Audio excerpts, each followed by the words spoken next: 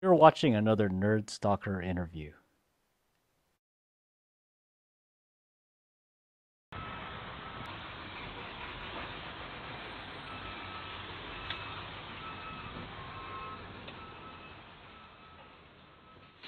Hi, I'm Kaspar Mossman. I'm Communications and Marketing Director at QB3. QB3 is a University of California research institute and biotech accelerator.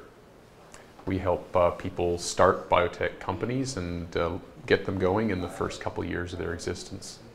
Well, it was founded in late 2000 by then Governor Gray Davis, um, who uh, created a legacy of four institutes. QB3 was one of them. We represent Berkeley, UCSF, and Santa Cruz. This was founded in, in 2013 after we had been working with biotech startups for then about maybe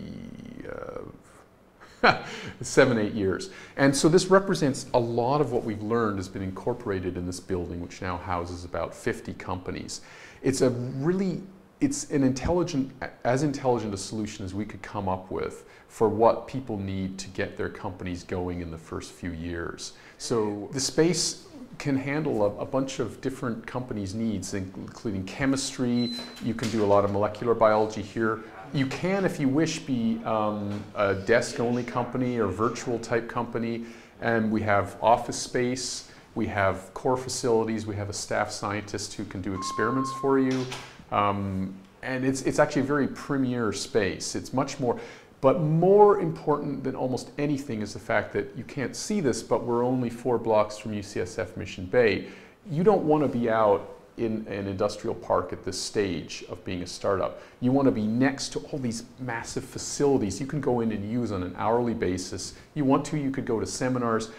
And, and secondly, you've got 50 companies here. People like and benefit from being around their peers when you're creating a startup.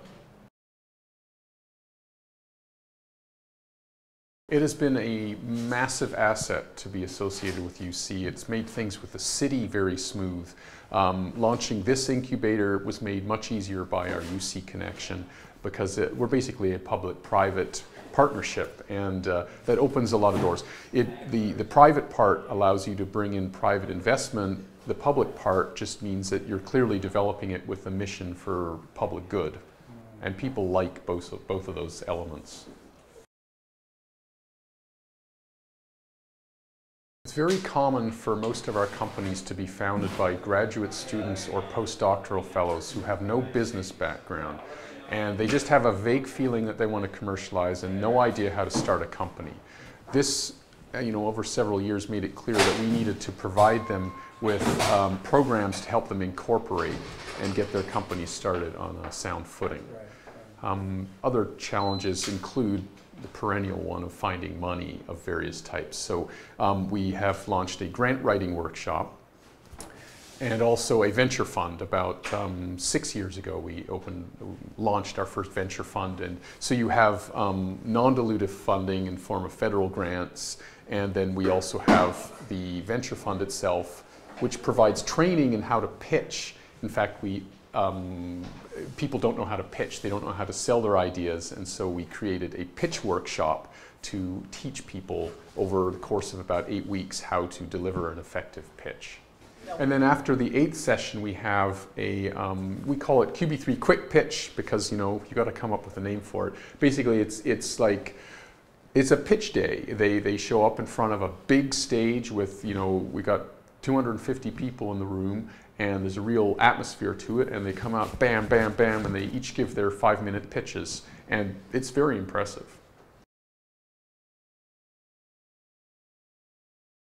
In the last year or so, we have seen a decided trend towards um, genomics and personal microbiome companies.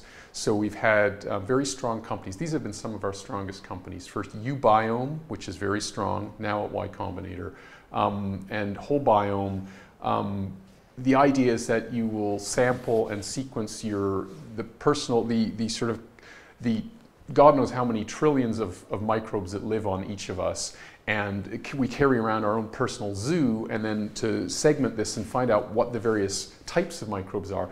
And many of these are, are symbiotic microbes. They, they benefit us, or at least they're partnered with our bodies. If you were to kill these things off, you would damage our own health. Um, and therefore, there's an idea to maybe tweak your microbiome to, as a form of medicine. And, and some of these companies are very far along in doing that. I think when it comes to wearable tech, um, what you're, you're going to see in general is a move towards the intelligent precision medicine. And there's, there's got to be so much that has to be done to, first of all, collect this information and then get it to your doctor. It's such a big, wicked problem that it's we don't have any startups tackling the major issues here, which is one of the biggest issues for medicine worldwide and particularly in the US, which is to collect that data and make it specific and get it to the people who can actually make decisions about your personal health.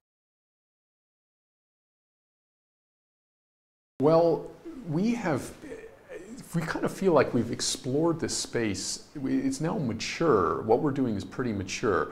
And the question is, can we scale it up? So we, we have almost passed the innovative phase of, of what we're doing. We're dealing with innovative people, but we've innovated as much as we can. The question is, can we replicate this? So you will see us replicating incubator and venture fund um, in various incarnations through the Bay Area. And recently, our director, Reg Kelly, was tapped as um, entrepreneurship advisor for Janet Napolitano, who's president of UC. So we have been chosen or whatever you like to say to, to expand this or scale it to different UC campuses. So you will see similar uh, enterprises. They will be integrated with whatever is happening on those campuses because every, it depends very much on location and what you've already got going.